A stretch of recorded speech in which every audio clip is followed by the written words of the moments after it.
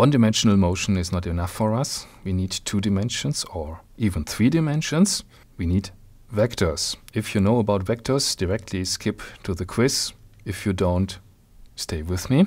Vectors can be represented by arrows. Typically we denote vectors by lowercase Latin characters with an arrow on top of them. And we can also express them in numbers. This arrow vector is 4 units to the right and 3 units up, which is why we can write 4, 3 in this way. These are called components of the vector, x component, y component, if the x-axis points right and the y-axis points up. Let's look at a second vector. If we call this vector b, that would be 2, 1. x component 1, y component 2. Let's have a third vector that's called c and c should be 1 minus 3. c goes right by 1 unit and goes down by 3 units. And now we can do some basic arithmetics. We can add vectors, for instance. Let's add b and c. If we want to add b and c, we put them together. The tail of c goes to the tip of b, or the other way around. And the resulting vector, which is b plus c, goes from the tail of b to the tip of c.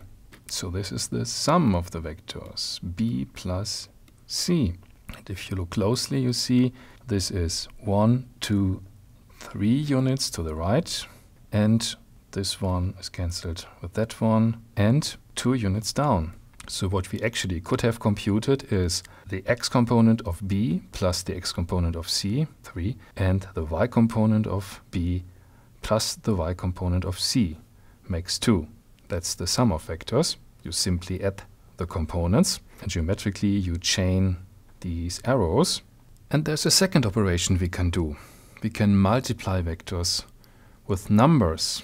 For instance, if I want to multiply this vector b by 3 halves. I get an arrow in the same direction, but with 50% more length. I can do that in components, of course, as well. So what I get is 3 halves times 2 and 3 halves times 1, which is 3 and downstairs 1.5. Obviously, 3 units to the right, 1.5 units up. If we do this multiplication with negative numbers, we're going to invert the direction of the arrow.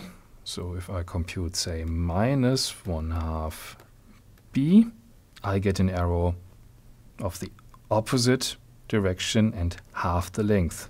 In components, minus 1 half times 2 is minus 1, minus 1 half times 1 is minus 1 half. So this goes one unit to the left and half a unit down.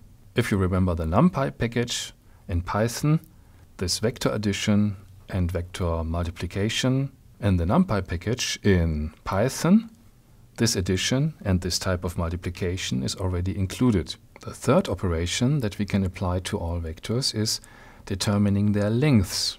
I'm writing it like that with double bars. To determine the length, we can simply use the Pythagorean theorem. One leg of this right triangle is 4 units long, the other leg is 3 units long, which means that the hypotenuse is 4 squared plus 3 squared square root units long, which means 16 plus 9, 25 square root 5 units.